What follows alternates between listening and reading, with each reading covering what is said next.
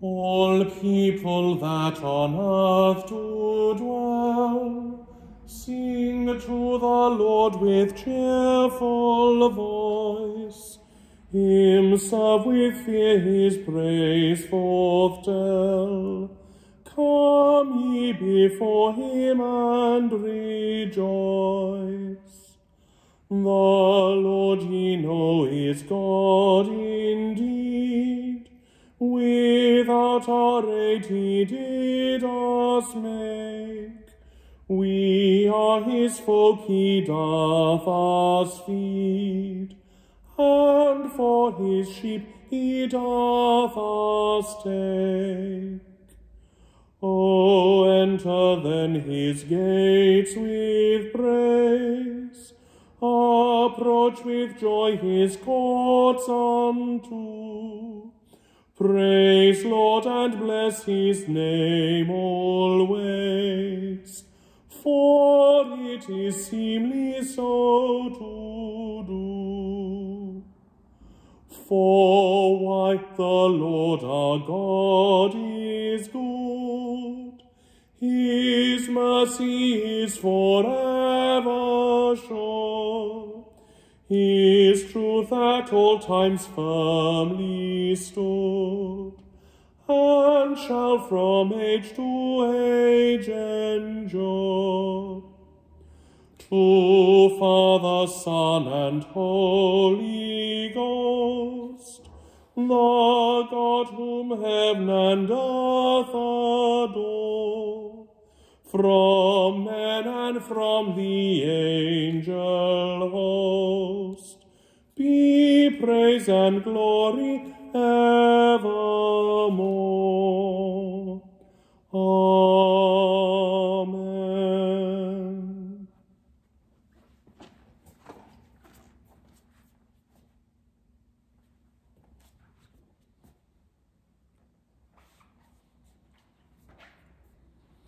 In the name of the Father, and of the Son, and of the Holy Spirit. Amen. The Lord be with you.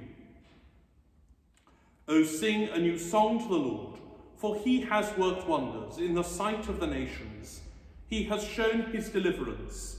Alleluia. My dear friends in Christ, on this Easter Sunday, the fifth Sunday of Easter, we come together as the people of God to sing Alleluia, which is our song, and to praise Almighty God. We come as his people to pray for the life of our parishes, and we come in penitence and faith to his altar.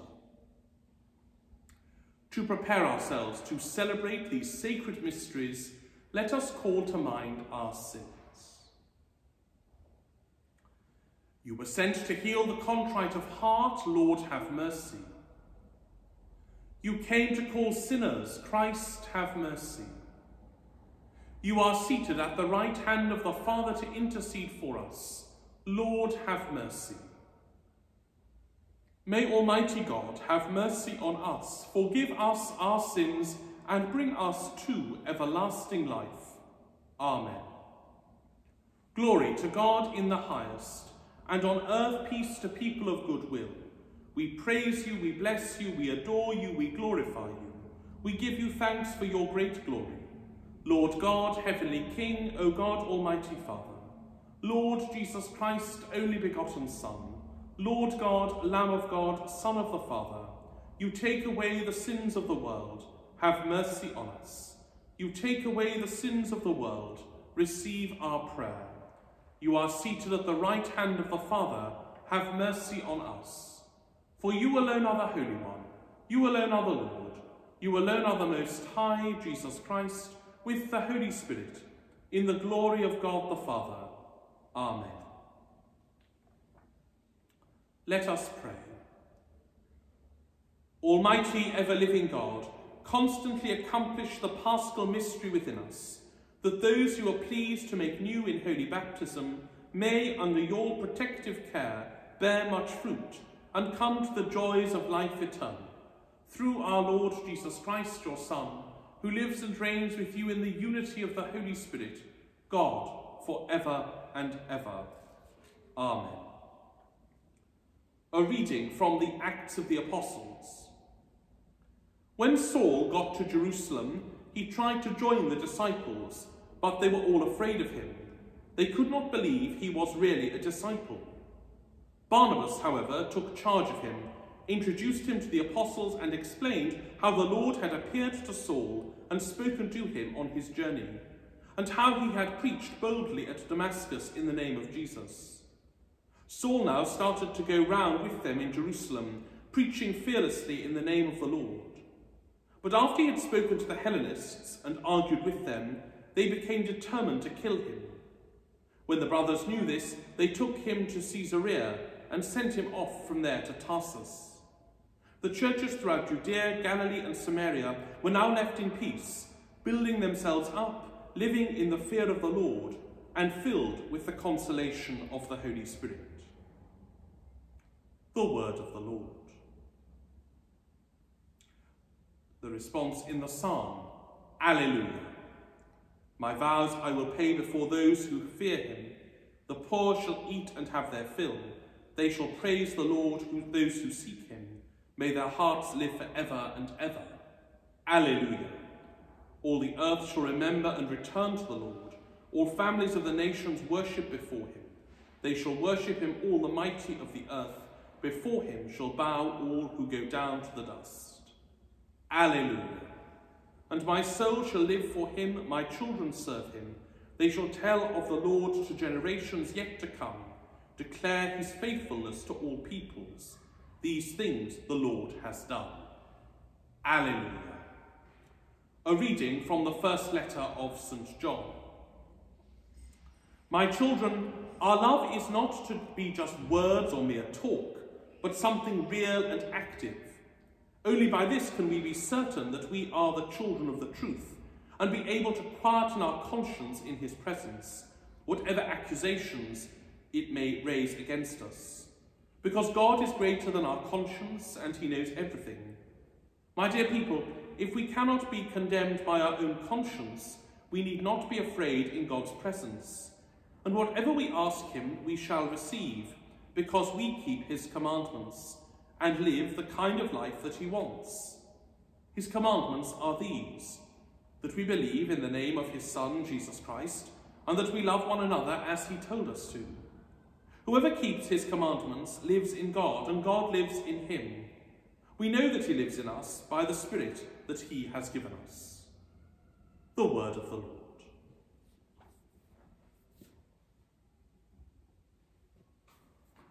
Alleluia, Alleluia, Alleluia, Alleluia, Alleluia, Alleluia. Make your home in me as I make mine in you. Whoever remains in me bears fruit in plenty. Alleluia, Alleluia, Alleluia. The Lord be with you. A reading from the Holy Gospel according to John. Jesus said to his disciples, I am the true vine, and my Father is the vine dresser. Every branch in me that bears no fruit he cuts away, and every branch that does bear fruit he prunes to make it even bear even more. You are pruned already by means of the word that I have spoken to you. Make your home in me as I make mine in you. As a branch cannot bear fruit all by itself, but must remain part of the vine, neither can you unless you remain in me. I am the vine, you are the branches. Whoever remains in me, with me in him, bears fruit in plenty. For cut off from me you can do nothing. Anyone who does not remain in me is like a branch that has been thrown away. He withers. These branches are collected and thrown on the fire, and they are burnt. If you remain in me, and my words remain in you, you may ask what you will, and you shall get it. It is to the glory of my Father that you should bear much fruit, and then you will be my disciples. The Gospel of the Lord.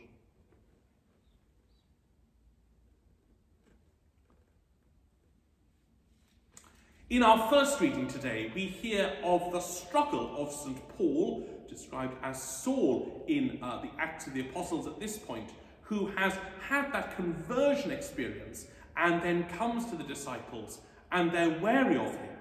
They're wary of him because he has been the great persecutor of the church. He has been a great persecutor of the Christian life.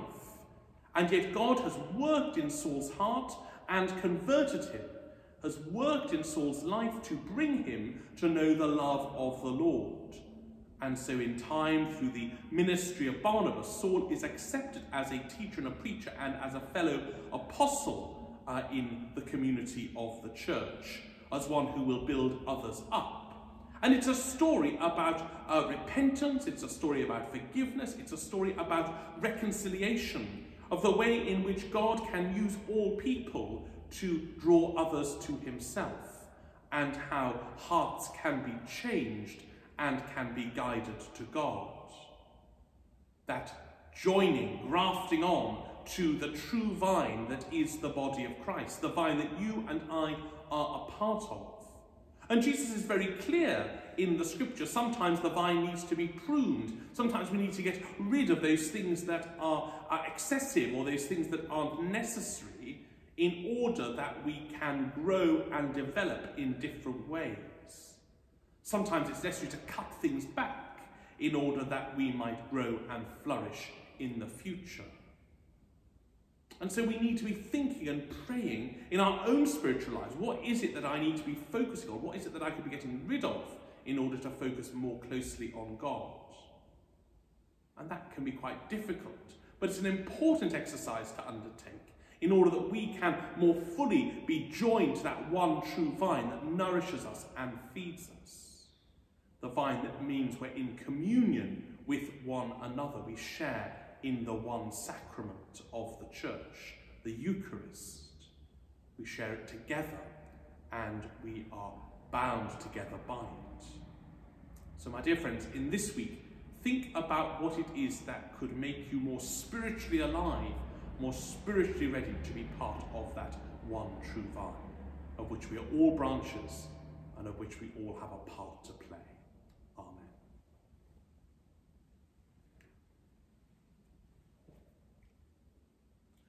I believe in God, the Father Almighty, creator of heaven and earth, and in Jesus Christ, his only Son, our Lord, who was conceived by the Holy Spirit, born of the Virgin Mary, suffered under Pontius Pilate, was crucified, died, and was buried. He descended into hell.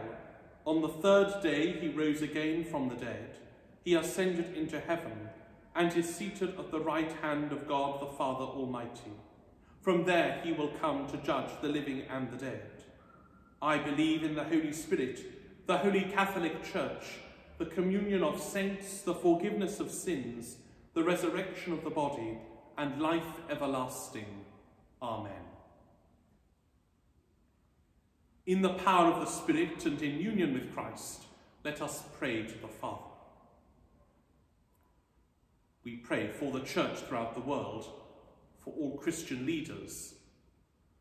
We pray for all missionaries and evangelists, for all who spread the good news of the gospel. Lord, hear us. We pray for our parishes, for all saints and St Michael's and for the Larfield Com community. We pray for all preparing for First Holy Communion and Confirmation, for those preparing for baptism, we pray for any who are celebrating birthdays or anniversaries at this time, that they may be richly blessed. Lord, hear us. We pray for peace among the nations of the world, for an end to warfare and violence, for those affected by the COVID-19 pandemic. We pray particularly for the people of India. We pray for those affected by the volcano in St. Vincent. Lord, hear us. We pray for our local community, for all who live and work in our parishes, for those who continue to be affected by the Grenfell Tower fire. We pray for the young people of our parish. Lord, hear us. And we pray for those who are sick, for all in our hospital, hospice and care homes, and for the housebound, for the sick known to us, for all on our parish prayer list, and for those whom we remember now. that they may know God's healing and loving presence. Lord, hear us. And we pray for those who have died, for our own departed relations and friends, and for all past members of this parish, for those who have died recently, and for those whose years mind we remember. Rest eternal grant to them, O Lord, and let light perpetual shine upon them. And so we join our prayers with those of all the saints, with St. Michael, St. Francis, and St. Columb, and chiefly with Mary, Our Lady of Walsingham, whom we greet, saying, Hail Mary, full of grace, the Lord is with thee. Blessed art thou among women, and blessed is the fruit of thy womb, Jesus. Holy Mary, Mother of God, pray for us sinners now, and at the hour of our death. Amen. Heavenly Father, you promise to hear us when we pray in faith. Hear our prayers now and grant them according to your will and for our benefit. Through Christ our Lord. Amen.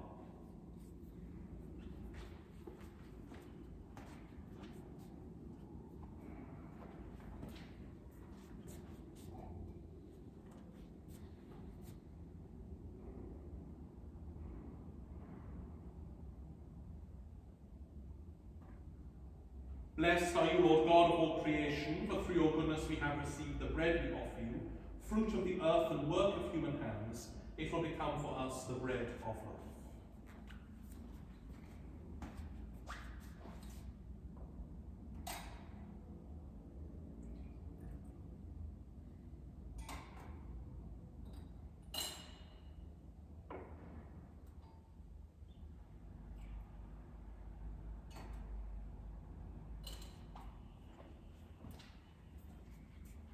Blessed are you, Lord God of all creation, for through your goodness we have received the wine we offer you, fruit of the vine and work of human hands.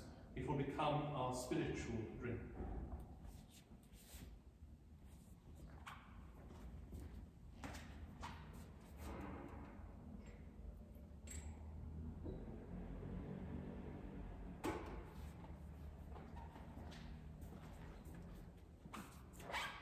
Pray, my dear friends, that my sacrifice and yours may be acceptable to God, the Almighty Father.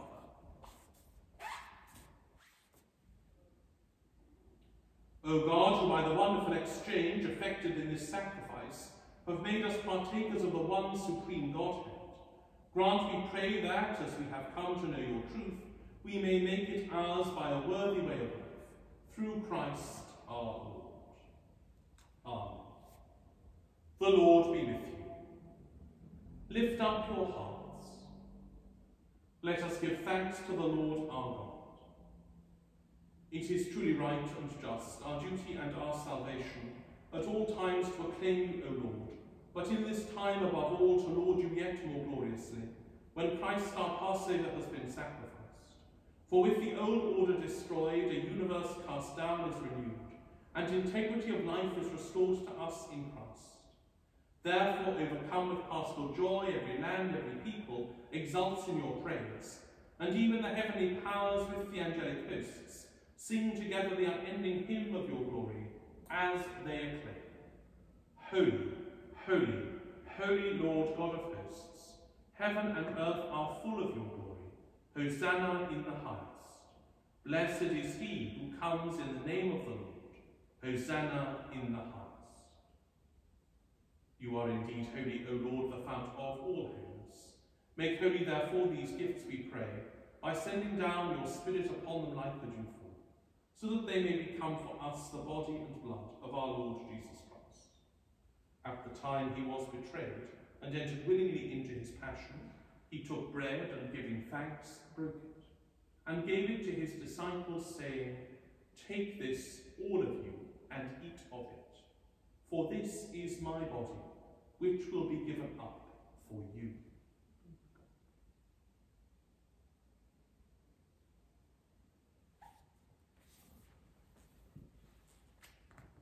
In a similar way, when supper was ended, he took the chalice, and once more giving thanks, he gave it to his disciples, saying, Take this, all of you, and drink from it.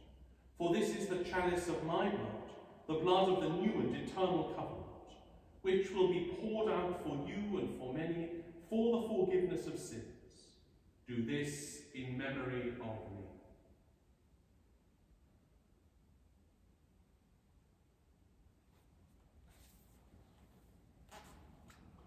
The mystery of faith. We proclaim your death, O Lord, and profess your resurrection until you come again. Therefore, as we celebrate the memorial of his death and resurrection, we offer you, Lord, the bread of life and the chalice of salvation, giving thanks that you have held us worthy to be in your presence and minister to you. Humbly we pray that partaking of the body and blood of Christ, we may be gathered into one by the Holy Spirit.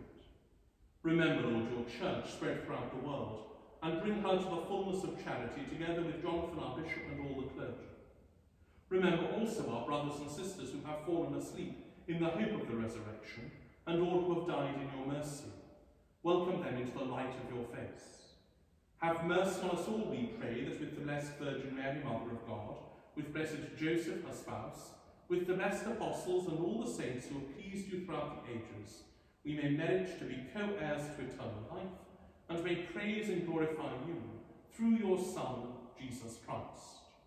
Through him, and with him, and in him, O God, Almighty Father, in the unity of the Holy Spirit, all glory and honour is yours, for ever and ever. Amen. At the Saviour's command, and formed by divine teaching, we dare to say, Our Father, who art in heaven, hallowed be thy name. Thy kingdom come, thy will be done on earth as it is in heaven. Give us this day our daily bread, and forgive us our trespasses, as we forgive those who trespass against us. And lead us not into temptation, but deliver us from evil. Deliver us, Lord, we pray, from every evil. Graciously grant peace in our days, that by the help of your mercy we may be always free from sin and safe from all distress, as we await the blessed hope and the coming of our Saviour, Jesus Christ. For the kingdom, the power, and the glory are yours, now and forever. Lord Jesus Christ, who said to your apostles, Peace I leave you, my peace I give you, look not on our sins, but on the faith of your church, and graciously grant her peace and unity in accordance with your will, who live and reign for ever and ever. Amen. The peace of the Lord be with you always. Lamb of God, you take away the sins of the world, have mercy on us. Lamb of God, you take away the sins of the world, have mercy on us. Lamb of God, you take away the sins of the world, grant us peace.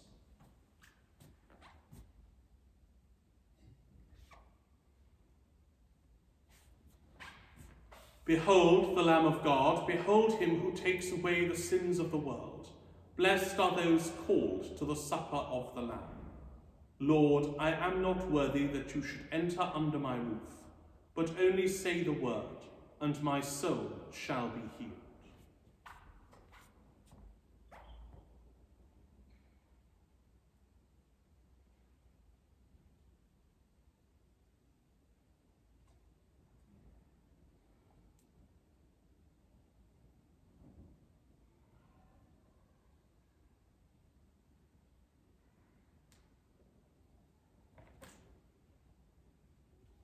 I am the true vine, and you are the branches, says the Lord. Whoever remains in me and I in him bears fruit in plenty. Alleluia.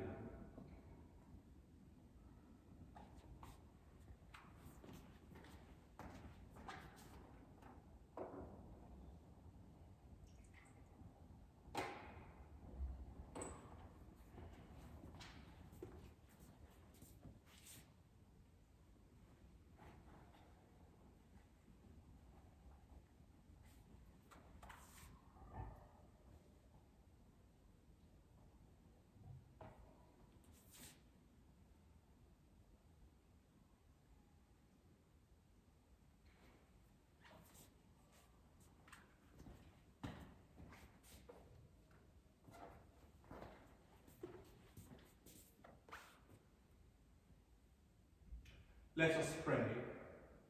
Graciously be present to your people, we pray, O Lord, and lead those you have imbued with heavenly mysteries to pass from former ways to newness of life. Through Christ our Lord. Amen. The Lord be with you. May Almighty God bless you, the Father, the Son, and the Holy Spirit. Amen. Go forth, the Mass is ended.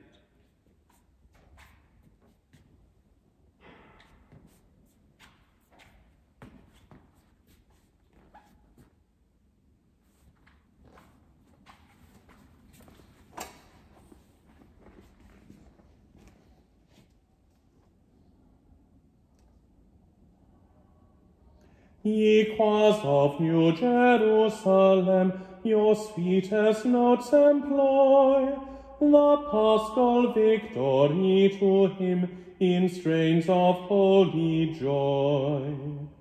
How Judah's lion burst his chains and crushed the serpent's head, and brought with him from death's domains the long imprisoned dead. From hell's devouring jaws the prey, alone our leader bore. His ransomed hosts pursue their way, where he hath gone before. Triumphant in his glory now, his scepter ruleth all. Earth, heaven, and hell before him bow, and at his footstool fall. While joyful thus his praise we sing, his mercy we implore, into his palace bright to bring, and keep us evermore. All glory to the Father be, all glory to the Son, all glory, Holy Ghost, to thee, while endless ages run. Alleluia. Amen. Joy to thee, O Queen of Heaven. Alleluia. He whom thou wast meet to bear. Alleluia. As he promised hath arisen. Alleluia. Pour for us to God thy prayer. Alleluia.